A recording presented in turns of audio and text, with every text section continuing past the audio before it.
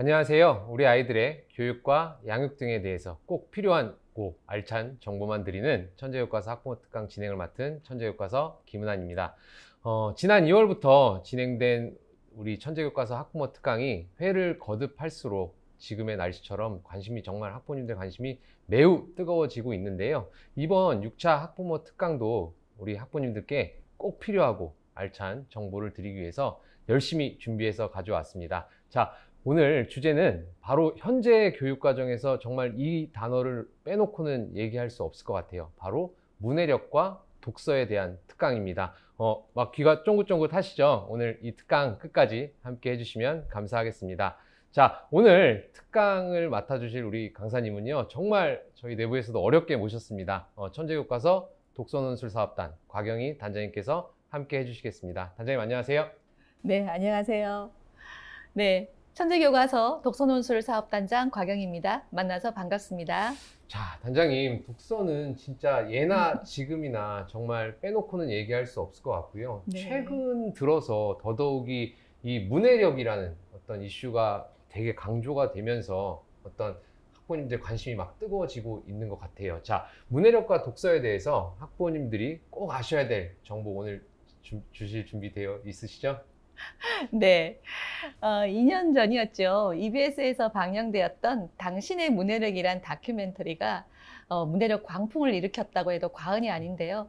그 후로 시중에는 문해력과 관련된 도서는 물론 각종 어휘력, 독해력 교재와 독서 논술, 독서 학원까지 넘쳐나고 있습니다. 어, 아마 학부모님들도 어떤 것을 선택해야 할지 고민이 많으실 텐데요. 이럴 때 꼭 필요한 것이 문해력과 독서에 대한 정확한 개념 이해입니다. 음, 자, 그럼 진짜 오늘 이 시간을 함께 하면 지금 우리 함께 하고 계신 학부모님들께서 독서와 그다음에 문해력의 개념에 대해서 정확하게 알 수 있다라는 말씀이신 거죠? 네. 어, 아마 관심이 많으셔서 어느 정도는 알고 계실 텐데요. 시대의 변화와 함께 문해력과 독서에 대한 개념도 지금 좀 많이 바뀌고 있습니다. 음, 제가 여러분들이 정확하게 아실 수 있도록 최대한 자세히 말씀드리겠습니다. 자, 그러면 저 이거 먼저 궁금해요. 문해력, 네. 문해력의 정의, 문해력의 개념 좀 쉽게 우리 잘 풀어주시면 감사하겠습니다. 네, 네. 알겠습니다. 네. 문해력을 영어로는 literacy라고 하죠. literacy는 시대적으로 혹은 사회적으로 다르게 규정되고 있는데요. 음, 예로, 예전부터 국어 교육이나 한국어 교육 분야에서는 오래전부터 문식성이란 용어로 논의되었습니다. 문식성 들어보셨어요? 아쉽게도 잘 그죠? 모르겠습니다. 어, 그 학계에서만 쓰이고 있었던 용어라서 아마 대부분 처음 들으실 텐데요. 이 문식성은 말 그대로 글을 읽고 쓰는 것을 말합니다. 문맹의 반대 개념으로 생각하시면 됩니다. 음, 아, 최근에는 이 리터러시를 문해력이란 용어로 논의하고 있는데요. 문해력의 사전적 의미는 글을 읽고 이해하는 능력을 말합니다. 단장님 혹시 저 궁금한 게 있는데요. 이 네. 문해력이라고 최근 들어서 저는 진짜 많이 들어본 것 같고요. 기존에는 이제 글을 읽고 해독해고 해석해낸 능력을 독해력이라고 하지 않았나요? 이 독해력과 문해력이 어떤 차이가 있는지 설명 좀 부탁드릴게요. 네, 많은 분들께서 물어보시는데요. 어, 정확하게 제가 말씀드리겠습니다. 네. 독해력은 어휘력과 함께 문해력의 한 요소입니다. 어, 연산이 수학의 한 요소인 것과 같습니다. 아, 네. 이해되시죠? 네, 이해됩니다. 예. 최근 이슈가 되고 있는 문해력은 단순하게 글을 읽고 이해하는 능력만이 아니라 활용하는 능력으로 확대된 개념입니다. 음, 이 활용하는 능력은 이해한 지식과 정보를 자신의 것으로 정리하고 또 표현하는 능력을 포함하고 있습니다. 산수가 수학이 아니듯 독해력은 문해력이 아니라는 의미입니다. 음, 요즘 아이들의 교과서를 보면 이런 부분에 초점이 맞춰져 있음을 잘 알 수 있는데요. 학습 후에 마지막에 꼭 이렇게 확인을 하죠. 네 생각은 어때? 어떻게 하면 좋, 좋을까? 말해보자, 서술해보자. 또 평가도 선언 수령 문제로 평가를 합니다. 자, literacy의 개념이 단지 언어를 읽고 쓰는 능력에서 더 나아가 사회에서의 적응 및 대처하는 능력으로 개념이 확대되면서 최근에는 literacy를 더 이상 우리말로 번역하지 않는 경향을 보이고 있습니다. 음, 그랬군요. 네, literacy를 그냥 literacy라고 literacy. 예, 그럼 이, 합니다. 단순히 글을 이해하고 하는 능력을 뛰어넘어서 활용하는 능력까지 포함이 된다는 네, 말씀이신 거죠? 맞습니다. 네. 음, 단장님 그리고 요새 요새는 그 literacy를 얘기할 때 그냥 literacy라고도 물론 얘기하지만 뭐 디지털 literacy, 미디어 literacy 이런 것들은 뭐, 뭔가요? 네, 디지털 literacy부터 그럼 말씀을 좀 네, 드리겠습니다. 부탁드리겠습니다. 네, 그 디지털 literacy란 종이에 인쇄된 텍스트가 아니라 스마트폰이나 태블릿, 컴퓨터와 같은 디지털 도구로 접할 수 있는 텍스트들을 찾아서 읽고 이해하고 분석해서 잘못된 정보를 발견하는 능력을 말하는데요. 디지털 도구를 활용할 수 있는 능력까지 포함하고 있습니다. 아, 그럼 미디어 리터러시는 뭘까요? 뭐죠? 미디어, 즉 매체를 읽고 이해하고 활용하는 능력을 말합니다. 자, 이 미디어의 종류도 요즘 무척 다양해지고 있는데요. 네. 텔레비전, 신문, 잡지, 영화와 같은 대중 매체와 함께 인터넷, 유튜브, SNS와 같이 디지털 코드를 기반으로 작동하는 전자매체, 즉 디지털 미디어까지 있습니다. 자, 이렇게 디지털 시대를 맞이하여 넘쳐나는 매체와 정보 속에서 꼭 필요한 사고가 있는데요. 바로 비판적 사고입니다. 많이 들어보셨죠? 비판적 사고. 예, 네. 많이 들어봤습니다. 요즘 많이 화제가 되고 있는데요. 어떤 정보가 신뢰할 수 있는 정보인지 올바른 판단을 위해 반드시 키워져야 할 사고입니다. 이 비판적 사고를 바탕으로 지식과 정보를 이해하고 판단하여 활용하는 literacy를 비판적 literacy라고도 합니다. 2022 개정교육과정 국어과의 영역에 매체 영역이 추가된 이유가 바로 미디어 literacy, 비판적 literacy 때문입니다. 음, 네, 이렇게 literacy의 개념이 문자의 범위를 넘어서 활용 능력으로 확대되면서 다양한 분야로 세분화되어 쓰이고 있다는 것 알아두시면 아마 쉽게 이해하실 수 있을 겁니다.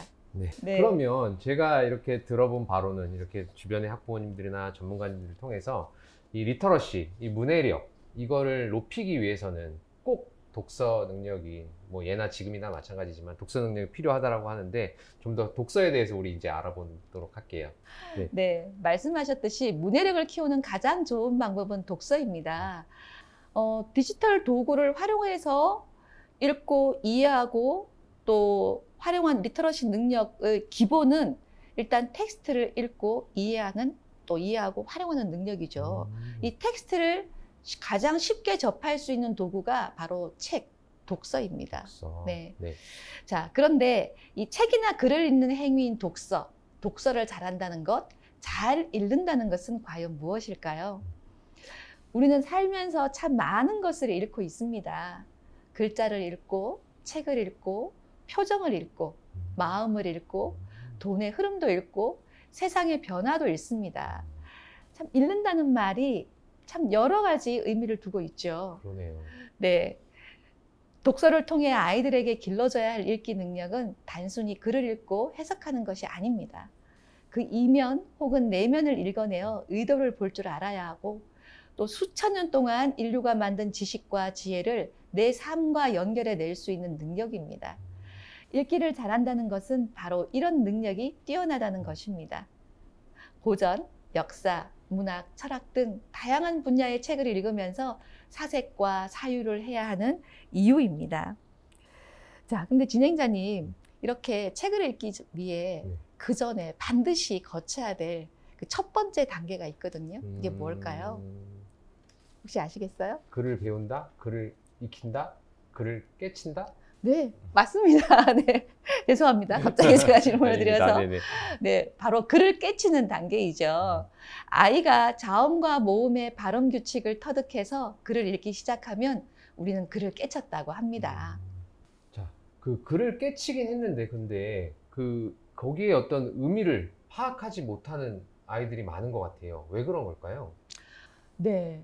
그 이전부터 그런 현상이 있었는데요. 최근 코로나 팬데믹을 거치면서 부쩍 많아진 것 같습니다. 아무래도 코로나 기간 동안 가정에 있는 시간이 길어지면서 덩달아 영상 매체에 노출된 시간이 길어졌기 때문이기도 한데요. 어, 하지만 꼭 영상 매체 때문만은 아닙니다. 예전부터 학부모님들이 놓치고 있는 중요한 사실이 있습니다. 뭘까요? 우리 학부모님들은 아이가 한글을 깨치기 전에 영유아기 때부터 그림책도 읽어주고 생각과 느낌 나누기도 하시죠. 또 도서관과 서점에도 데리고 다니면서 책을 좋아하게 만들기 위해 많은 정성을 기울이십니다. 그러다가 초등학교에 입학할 무렵 드디어 한글을 깨치고 혼자 책을 읽기 시작하면 이제 됐다. 드디어 책 읽어주기에서 해방이다. 쾌재를 부르기도 하시죠. 저 얼마 전에 해방했는데 그거 아니었어요? 네, 바로 이 부분이 바로 네. 문제입니다. 음, 아이가 한글을 깨치고 혼자 책을 읽기 시작했을 때 마냥 좋아하시면서 섣부르게 혼자 읽게 두시면 문제가 될수 아, 있습니다. 어떤 문제가 있을까요? 네. 이거는 이제 읽기의 발달 단계를 몰라서 네, 그렇게 하시는데요. 네네. 읽기에도 발달 단계가 있는데요. 첫 번째 단계가 글자를 막 깨친 아이들이 그 읽기 시작하는 해독 단계가 첫 번째입니다. 음, 그러니까 우리 아이들은 그 해독 단계에 겨우 접어들었을 뿐입니다. 네. 이제 두 번째 단계로 넘어가야 되는데요. 함께 읽기를 계속 하시면서 글자를 소리내어 정확하고 유창하게 읽을 수 있도록 계속 도와주셔야 합니다. 그리고 낱말과 문장들이 만들어내는 의미를 파악할 수 있도록 도와주세요. 음, 아이에게 무조건 질문 또는 문제만 풀릴 것이 아니라 네. 글을 같이 읽으면서 자연스럽게 부모님이 설명해 주시는 것 계속 하실 필요가 있습니다. 음, 그리고 궁극적으로는 나아가서 글 전체의 내용을 파악하는 것까지 차근차근 계속 지도해 주셔야 합니다. 그 처음에는 아이의 문제가 잘 안 보입니다. 하지만 글의 양이 늘어나고 모르는 단어가 하나 둘 늘어나면서 어려움이 시작되는데요. 만약 3학년이 되어도 책 읽기를 좋아하는 것 같은데 어, 쉬운 동화책이나 만화책만 고집한다라고 하면 반드시 점검하셔야 됩니다. 음. 네. 자, 그럼 간혹 한글을 깨치자마자 혼자 읽겠다고 하는 아이들 있잖아요. 네네. 이거 그냥 두면 안 되는 거네요. 네, 맞습니다. 그 혼자 잘 읽는 것처럼 보여도 절대로 안심하시면 안 됩니다. 혼자 읽겠다는 의지를 수용하는 한편 엄마와 함께 소리내어 읽기를 계속 해주셔야 합니다. 아이가 정확한 발음으로 읽을 수 있도록 도와주시고요. 아이와 번갈아 읽으면서 자연스럽게 뛰어 읽기도 익힐 수 있도록 해주세요. 글을 읽고도 잘 모르는 아이들은 뛰어 읽기가 안 되는 경우가 굉장히 많습니다. 음, 그리고 문해력을 키우려면 어휘력도 중요하다고 하는데 어휘 학습 어떻게 도와주면 될까요? 네, 어휘, 어휘력 중요합니다. 그 1, 2학년 아이들 같은 경우에는 문제집을 푸는 것도 좋지만 책을 읽으면서 그림도 보고 문맥 속에서 어휘를 익히게 되면 아이가 글이나 책을 읽을 때 의미를 자연스럽게 떠올리게 됩니다. 한글을 몰랐을 때처럼 함께 책을 읽으시면서 낯선 어휘가 나오면 아이가 어느 정도 읽고 있는지 물어보기도 해주시, 물어보기도 하시고요. 또 추가 설명도 해주시면서 편하게 책 수다를 떨어주세요. 책 읽기에 대한 흥미를 지속시켜 주셨으면 좋겠습니다. 그리고 단장님, 그 한글을 막 깨친 아이들은 글자 자체를 읽는 거에만 집중하는 경우도 많죠. 네. 이런 경우를 읽기를 한 것이 아니라 보기만 했다라고 하는데요. 그래서 혼자 읽게 두지 말라고 말씀드린 겁니다. 음, 그럼 고학년 독서 지도에 대해서도 궁금한데요. 말씀 부탁드릴게요. 네. 아마 고학년 학부모님들께서 고민이 가장 많으실 텐데요. 어, 독서 지도 시기를 읽기를 위한 학습 시기와 학습을 위한 읽기 시기로 구분할 수 있는데요. 저학년이 읽기를 위한 학습 시기라면 고학년은 학습을 위한 읽기 시기입니다. 저학년 때 읽기 유창성과 함께 어휘력과 다양한 읽기 기능을 익혔다면 고학년은 책을 통해 익힌 배경 지식을 바탕으로 자신의 생각을 정리해서 표현할 수 있도록 해야 합니다. 독서 지도는 읽기와 쓰기를 반드시 함께 해 주셔야 된다는 것 꼭 기억하셨으면 좋겠습니다. 음, 단장님 조금 더 구체적으로 말씀 부탁드릴게요. 네, 알겠습니다. 네. 예를 들어 글을 읽고 문단의 중심 생각을 파악했다면 글을 쓸 때도 중심 문장과 뒷받침 문장을 갖춰서 문단을 쓸 수 있어야 해야 한다는 겁니다. 글을 읽으면서 사실과 의견을 구별했다면 글을 쓸 때도 사실에 근거한 정확한 표현으로 글을 쓸 수 있어야 합니다.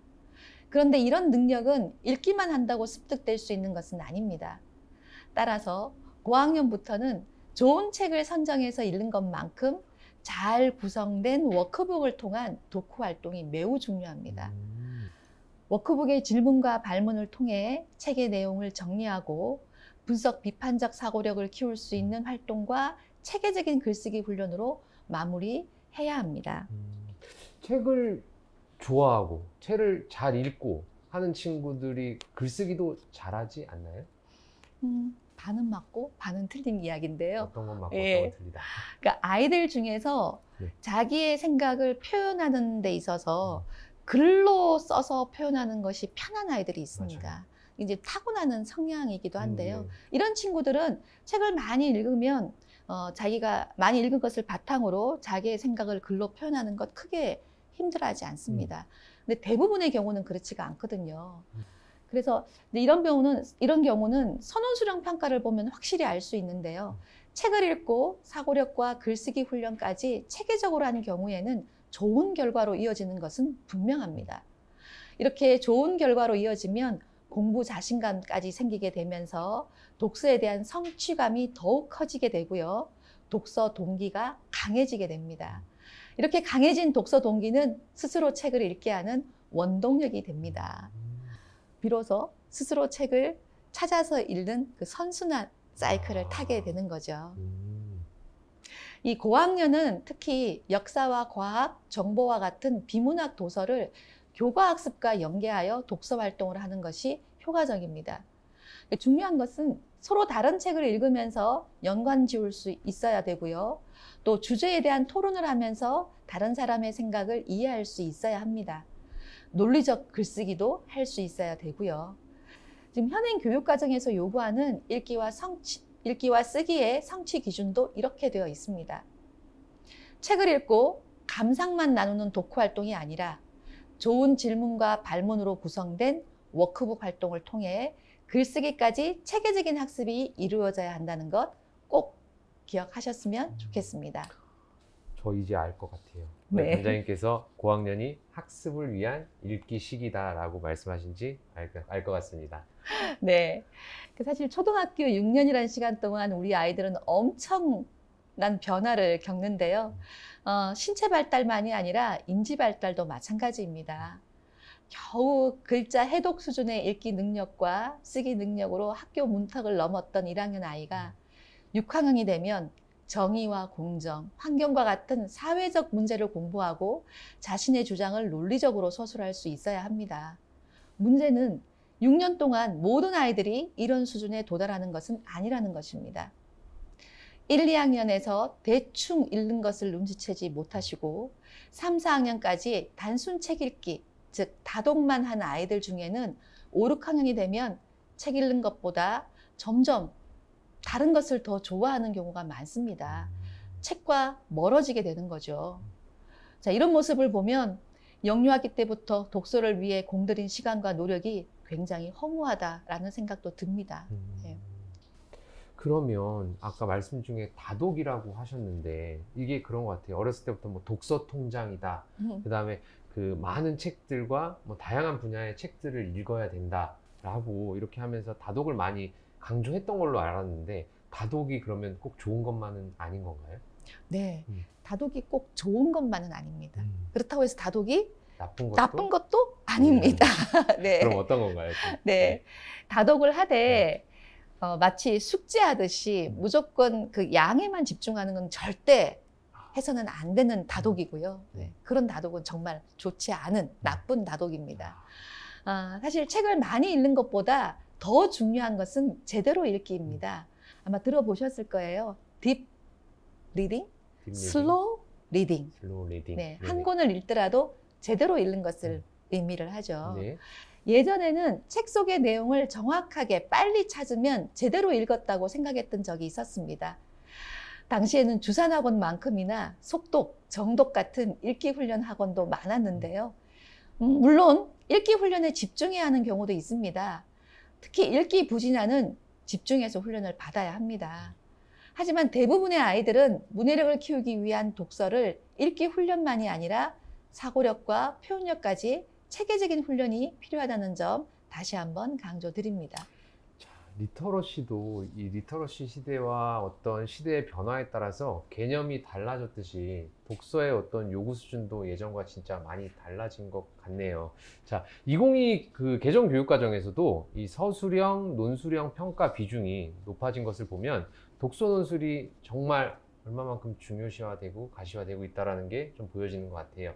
자, 단장님 이제 마무리할 시간이 됐는데요. 네. 우리 함께하고 계신 학부님께 마지막 또 당부의 말씀 부탁 좀 드리겠습니다. 네, 알겠습니다. 술을 깨쳤다고 연산을 잘하는 게 아니고 연산을 잘한다고 수학 실력이 보장되지 않듯 한글을 깨쳤다고 독해를 잘하는 게 아니고 독해를 잘한다고 문해력 실력이 보장되는 것은 아닙니다. 읽기만 아니라 분석적, 비판적, 논리적, 창의적 사고 훈련과 글쓰기 훈련이 반드시 병행되어야 합니다. 문해력은 단기간에 습득되지 않습니다. 초등학교 6년이라는 황금 같은 시간을 당장 눈앞에 보이는 것만 쫓지 않으셨으면 좋겠습니다. 마지막으로 서울대학교 교육학과 신종호 교수님의 문해력에 대한 정의를 말씀드리고 저는 물러가겠습니다.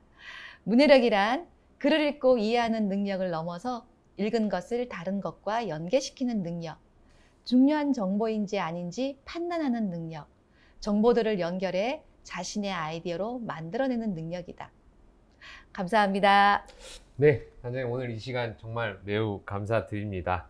자, 오늘 천재교육과서 학부모 제 6탄 음, 이것으로 마무리하겠습니다. 다음 또 다음 우리 예정하고 있는 7탄 주제는요. 2022 개정 교육 과정의 방향과 미래 인재상입니다. 그간에 우리가 뭐 영어, 수학 그리고 오늘 독서 논술까지 이렇게 좀 다양하게 알아봤는데요. 지금 우리 아이들이 맞이하고 있는 교육 과정과 또 곧 맞이하게 될 바뀌는 교육 과정에 대해서 어, 깊이 있는 깊이 있게 또 알아보는 어, 시간이 될 것 같습니다.